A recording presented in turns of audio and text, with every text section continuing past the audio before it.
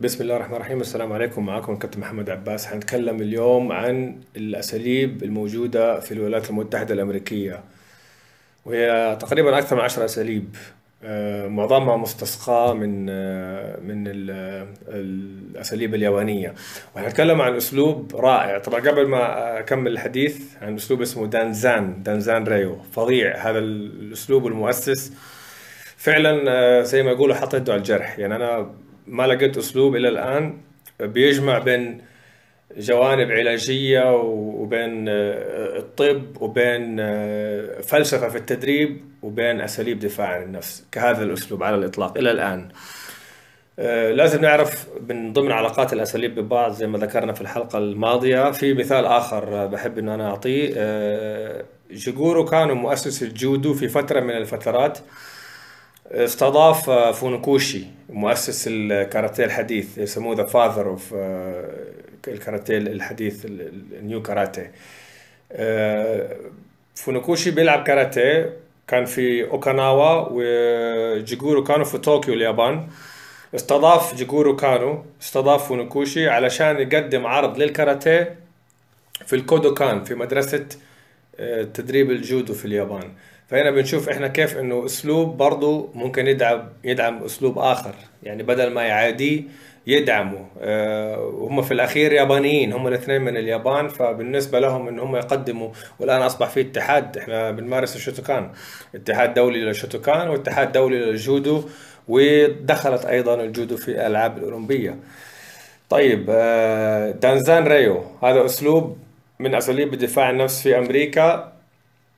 لكن اصله طبعا ياباني الاسس في ياباني. كلمة ريو تعني نظام. حتشوف دائما كلمة ريو في أساليب الكاراتيه معناها نظام. آه، دانزان ريو أحد أساليب الجوجيتسو التي اساسها يعني هو بيركز أكثر شيء على الجوجيتسو. والجوجيتسو على فكرة في أساليب الجوجيتسو فيها قتال بالأيادي وفيها ركلات وصدات ولوي مفاصل وفيها آه، أحيانا بالأسلحة وفيها آه، برضه مصارعة. اسسها واحد اسمه آه، سيشيرو أوكازاكي. أوكازاكي هذا صراحة أسطورة. هذا ولد في اليابان راح هاجر على هاواي في أوائل التسعينات من القرن الماضي آه، يعني تقريبا من 100 سنة. وكما هو واضح فإن أصل هذا الأسلوب ياباني هو مواليد اليابان. انتقل بعد ذلك انولد في اليابان راح على هاواي. كان في كثير من الأسيويين في هاواي. والأسلوب هذا في الأخير اللي سواه أوكازاكي انتشر في آه، بالذات في غرب الولايات المتحدة الأمريكية يعني في كاليفورنيا. اوكازاكي هذا لما كان صغير كان يعاني من أمراض في الجهاز التنفسي وبدأت هذه الأمراض بالتلاشي عندما بدأ يمارس فنون الدفاع عن النفس. فكان هذا هو الدافع الأكبر لديه لتعلم هذه الفنون وتعليمها. وبعدين أعطى آه، نفسه اسم غربي سمى نفسه هنري هنري أوكازاكي. تولد في 1890 ومات في 1951 يعني تقريبا عاش حاجة و60 سنة. طيب انتبهوا للمعلومات هذه. جدا شيقة هذه الحلقة على فكرة. تعلم عشان إحنا نشوف الربط كيف لأنه في ناس آه، زي ما قلنا بتوقع إنه الأساليب الدفاع النفس مجرد فقط أساليب قتالية. الآن هذا اتشافى. تعلم فترة في هاواي على يد مدربين آسيويين بعدين رجع على اليابان في 1922 آه، 24 وتعلم كمان مرة أساليب حنذكرها الآن. تعلم سبع أساليب للدفاع النفس اللي يقول لك أنت ليش بتلعب أس- أسلوبين أو ثلاثة. ورجع بعد كده على هاواي ليؤسس هذا الأسلوب. آه، تعلم أساليب أنا أذكر لكم هي. من ضمن الأساليب تعلمها جوجيتسو جودو كاراتيه كونغ فو كيندو هوايان لوا. هذا أسلوب آه، خاص. بهاواي و knife fighting. سبع أساليب دفاع النفس تعلم في خلال حياته قبل ما يأسس هذا الأسلوب. وطبعا أنت بتبحث هذه العلوم بتشوف حاجات أنت يمكن ما كنت تعرفها فبتتعلم. هي حاجة ثقافية صراحة. هو سمى الأسلوب هذا على اسم مدرب الصيني. مدرب الصيني كان هو درس أسلوب اسمه تشنا. تشنا هذا الأسلوب يعلم السيطرة على مفاصل الخصم أو إقفال المفاصل. والسيطرة على العضلات أو الأوتار حتى لا يتحرك الخصم. هذا أسلوب صيني. فهو سمى هذا الأسلوب حقه دانزان على اسم المدرب آه، الصيني حقه اللي اسمه وو تشونغ. الان نشوفه كيف. يعني هذه معلومة برضو جت الواحد بيبحث في علوم الدفاع عن النفس. التسمية وو تشونغ. في اللغة اليابانية هذا تعتبر بسموا عليها يعني استخدم اوكازاكي هذا الاسم لتكريم مدربه زي ما إحنا قلنا.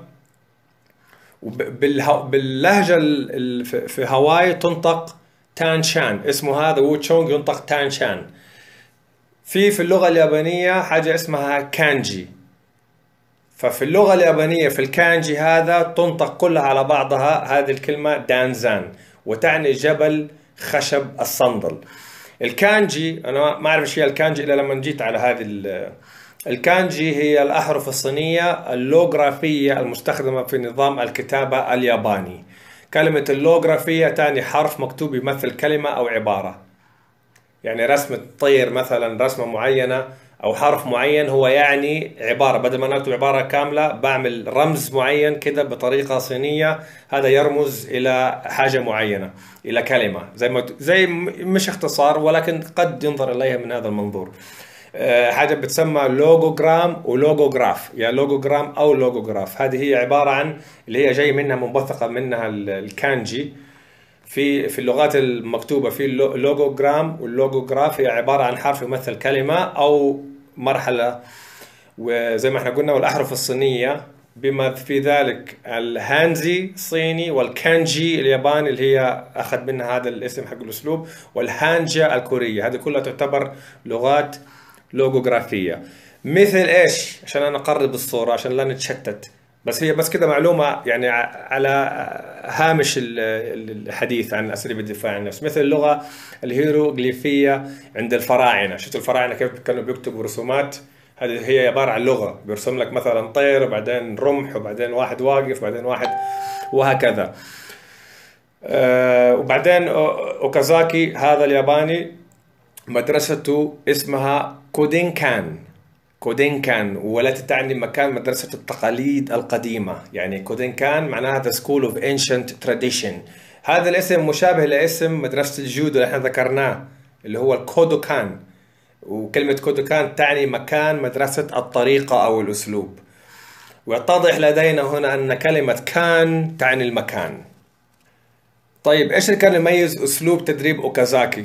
أوكازاكي هذا رائع جدا. كان أسلوب تدريبه يعلم الكبار اللي هم بعدين يصيروا متقدمين senior students وهذول ال senior students متقدمين يعلموا الطلاب الجدد وهكذا. فهذه كانت أسلوب التدريب حق أوكازاكي. كان هو الفلسفة التأسيسية لاتحاد الجودو والجوجيتسو الأمريكي. إنه أنت تدرب مجموعة وكل instructor صار advanced يدرب مجموعة وهكذا.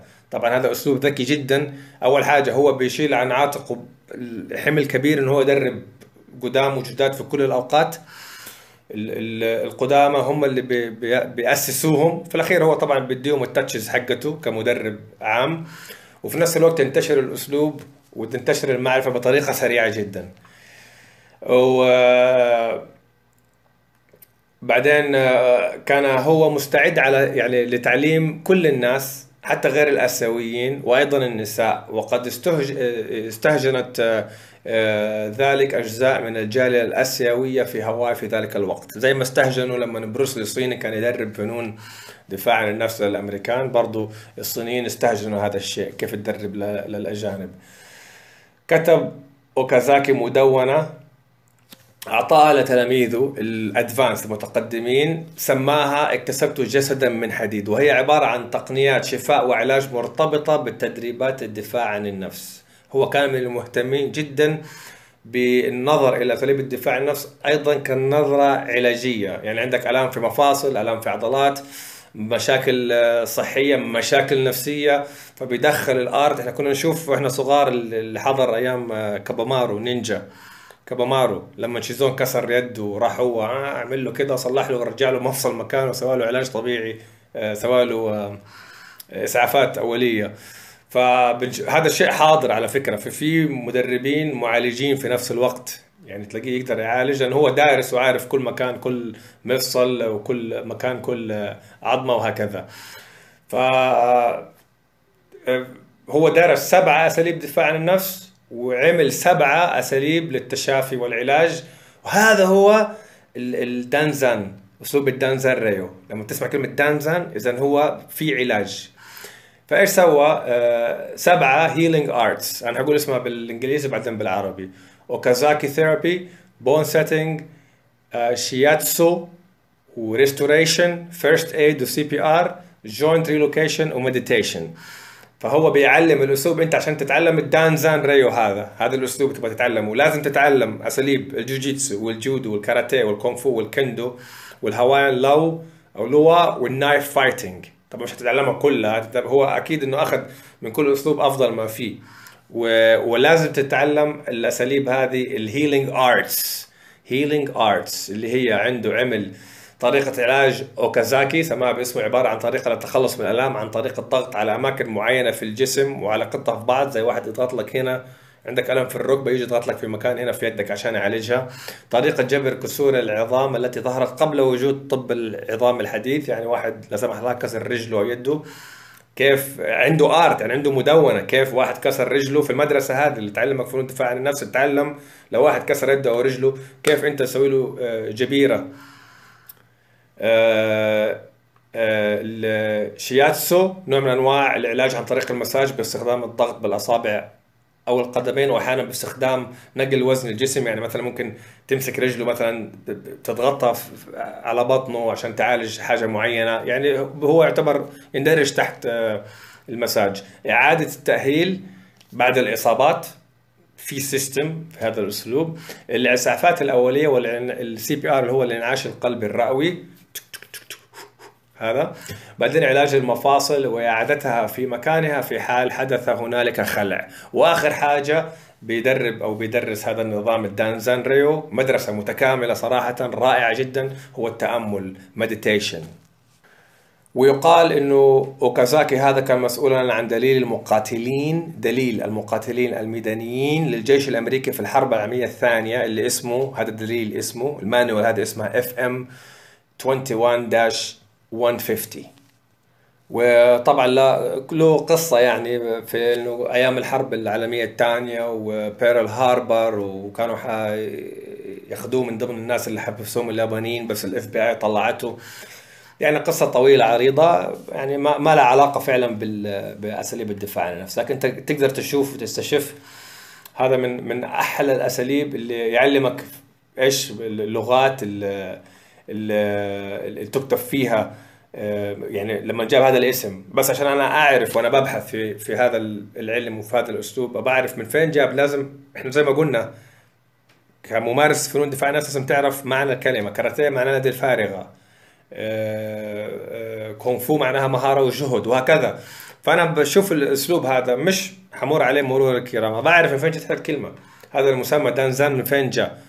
فدخلني في في, في ال logogram وال logograph طيب الأسلوب الذي يليه الكاراتيه الأمريكي أمريكان كاراتيه هذا ظهر بعد الحرب العالمية الثانية في عام 1946 يعني وأنت بتدرس هتعرف متى الحرب العالمية الثانية بدأت متى انتهت الحرب العالمية الأولى متى مثلث التجارة تكلمنا عليه. فأنت بتخش في مواضيع تاريخية وأنت مش عارف وأنت بتبحث وبتقرأ وبتترجم. بدأت على يد روبرت ترياس هذا متقاعد في البحرية الأمريكية ودرس هذا الرجل في فينيكس أريزونا يعتبر من معلمين الكاراتيه الأوائل في الولايات المتحدة أمثال إيد باركر.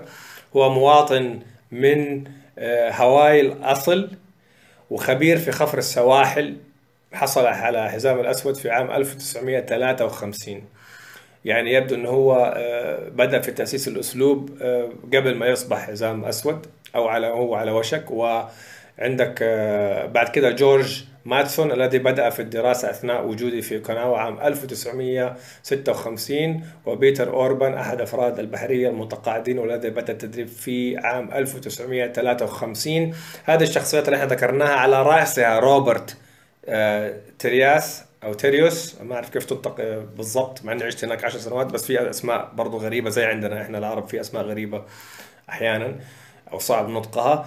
فلذلك لا ال American karate لا ينسب للشخص بعينه لأنه في أكثر من من شخصية هم اللي اسسوا ال American karate. لكن على رأسهم روبرت هذا. okay؟ كان معظم معلمي الكاراتيه قبل 1946 آه، معظم المعلمين الكاراتيه آه، خارج اليابان في إقليم هاواي يعني في معلمين يابانيين كانوا في إقليم هاواي قبل أن أن تضم تضم الولايات المتحدة هاواي لها أو تصبح هاواي تحت سيادتها وتصير هاواي كأنها جزء من الولايات المتحدة. فلذلك سمي American karate. يعني هم كانوا معلمين آسيويين بيدربوا كاراتيه. بعضهم كان مولود في هاواي يتعلم يعني هو مولود في هاواي لكن تعلم على يد واحد ياباني كان عايش في هاواي أو أو يعني قضى فترة هناك في هاواي فعلموهم. فلما خلصت الحرب العالمية الثانية وانضمت ضموا هاواي للولايات المتحدة أصبح اسمه American Karate واللي هو في الأساس ياباني طبعا. والأسلوب اللي تدرب أكثر حاجة متأثر بأسلوب الكاراتيه الأمريكي هو الكيمبو. كيمبو تعني أسلوب القبضة كلمة كيمبو. آه، في في الكيمبو في أسلوب اسمه كوشو شيريو ريو. هذا هو الأسلوب اللي هو كان الآسيويين والسكان المحليين فقط في هواي بيتدربوه. وفي آه، شخصية اسمها جيمس ميتوسي. هذا قدم الأسلوب هذا للعالم من خلال تلميذه ويليام تشو. ففي واحد اسمه ويليام تشو. تدرب على يد جيمس وبعد كده آه، ويليام تشو هذا نشر الكاراتيه الأمريكي للعالم واطلق عليه اسم الكاراتيه الامريكي عموما بعد أن تم ضم هواي الولايات المتحدة زي ما إحنا ذكرنا. وفي الخمسينات والستينات بعد ذلك وصل العديد من المدربين الكاراتيه اليابانيين إلى الولايات المتحدة بعد الحرب العالمية الثانية.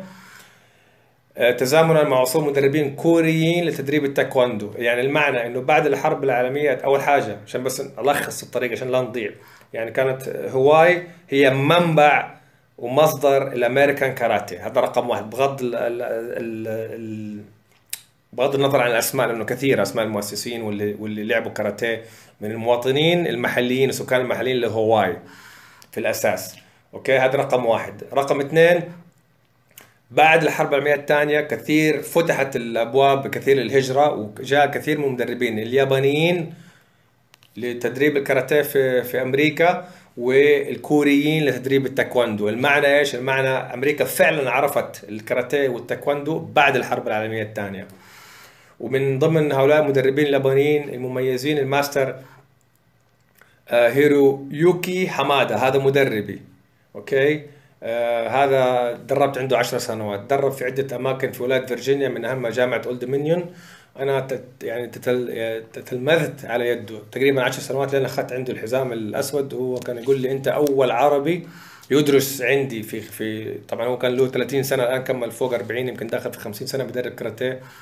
ما زال على قيد الحياة أول عربي كنت آخذ من آه، عنده ال ال ال الحزام الأسود. وكان الكلاس أغلبه في من البحرية الأمريكية والجيش الأمريكي. لذلك الكاراتيه زي ما شفنا كثير من المؤسسين كانوا في البحرية الأمريكية ومتأثر كثير يعني بيعلموه في ال Navy والأشياء هذه واللي في البحرية وفي الجيش بيركزوا كثير على كاراتيه ماخذين كثير تكنيكات. والآن دخل آه، ال Brazilian jiu-jitsu أيضا في هذه التدريبات. وواحد من من أشهر المدربين والمعلمين أيضا آه، كانوا من مواليد الولايات المتحدة مثل الممثل الشهير تشاك نوريس هذا تشاك نوريس هو في الأخير سوى أسلوب كمان درس عدة تدريب وأخذ عدة أحزمة سوداء. وطلع أسلوب آه، خاص فيه حنتكلم عليه إن شاء الله في الحلقة القادمة. وفي السبعينات خلاص صار في بطولات كاراتيه رسمية وبطولات كيك بوكسينج رسمية بسبب كثرة معلمين الكاراتيه هؤلاء زي ما إحنا ذكرنا. لا أحد يستطيع نسب الكاراتيه الأمريكي إلى مؤسس واحد بعينه. وأخيرا في عام 1996 تأسس الاتحاد الأمريكي للكاراتيه. نحاول دائما نخلي الحلقة أقل من 20 دقيقة فإن شاء الله نستكمل الحديث عن باقي اساليب الدفاع عن النفس آه، الأمريكية في الولايات المتحدة. اللي بعدها هنتكلم عن تشون كوك دو اللي هو الأسلوب اللي سواه تشاك نوريس ونعرف تشاك نوريس هذا ليش مميز وليش مشهور اللي مثل في فيلم آه، مع بروسلي شكرا والسلام عليكم ورحمة الله وبركاته.